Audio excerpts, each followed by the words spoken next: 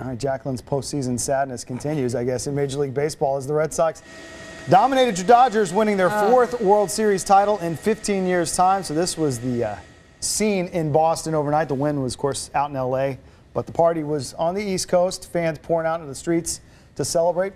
A few of them probably still going at it right now. Oh, for sure. She's got her Dodger blue on though. You do. Which I told Zach, I honestly Accident. didn't. It was an accident. Oh, I, I wasn't thinking that, you know. Blue, blue in your heart always. Yeah, Yes. bleeding blue. Still a Dodgers fan. I am. Yeah, a lot of partying out in Boston, but uh, very impressive to make two World Series in a row. There's nothing wrong It with is. that. yeah. And then not win. You know, well, like- it's disappointing for them, but Like- it is. No, no, no. It's awesome. It's great. There's, there's the moment.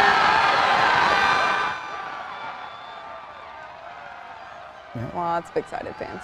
And, you know, Boston fans have had so much to celebrate. First, I mean, we remember the curse of the Bambino and the Red Sox are never going to win. forever, Now, yeah. four titles in 15 years' time. Yeah. Uh, And they have a young team, very young team. Yeah. yeah, could be could be making it again. Of course, again, the Dodgers have played so well, making two World Series as well.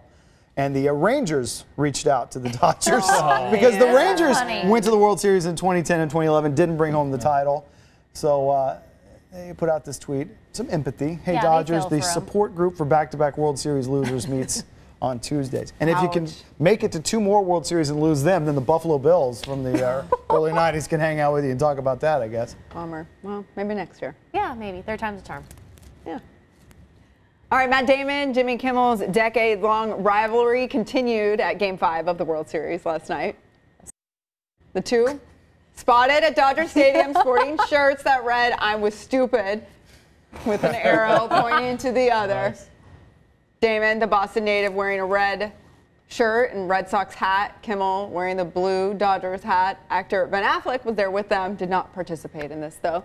Damon and Kimmel have been engaged in a tongue in cheek feud for more than a decade now. That's funny. It's good stuff. yeah, guys. that was really funny. Okay, we got the first ever remake of the 90s classic Clueless in the works apparently. Some fans are just saying, as if. Nice. Ew, get off of me. Ah, as if. Cher's got attitude about this. Oh, great movie.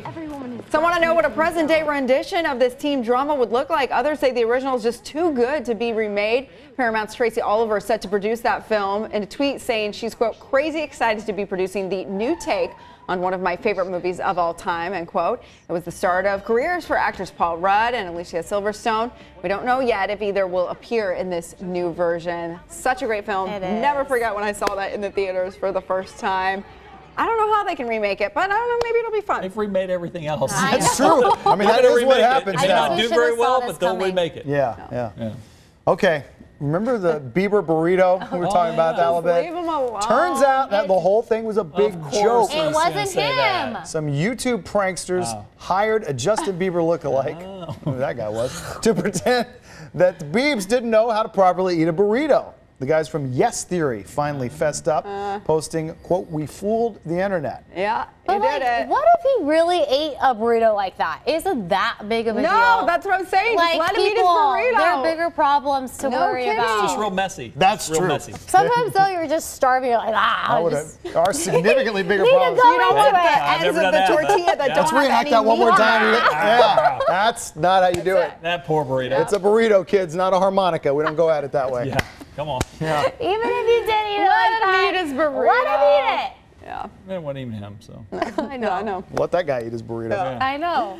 All right, for the right price, you can own Ed Sheeran's underwear. Auctioneers in England What have am I six bid? pairs of 30, 40, 45. boxers. Well, those will go for big, I bet. why Six pairs of boxers donated by the singer up for auction right now. This is part of a fundraiser for British Hospice.